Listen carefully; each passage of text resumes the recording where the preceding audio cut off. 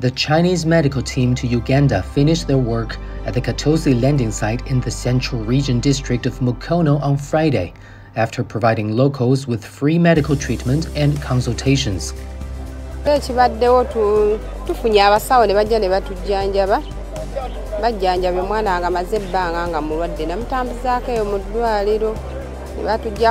kale mujjanjaba naye nga tegawona The medical camp was held in commemoration of the 40th anniversary of the Chinese medical team to Uganda. The team consists of seven physicians and surgeons specializing in different fields like gastroenterology, urology, infectious diseases, otolaryngology, anesthesiology, and traditional Chinese medicine, among others.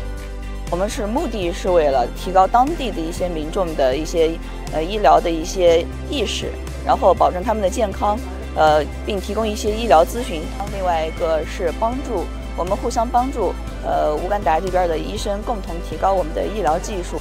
Starting from 1983, we are, are sending the medical team, and during this period of time, uh, 40 years uh, period of time, uh, China sends uh, medical teams every year, and then we're doing joint research and we're doing we're delivering uh, training programs from time to time. We would like to raise people's awareness. That is more important, especially in health education.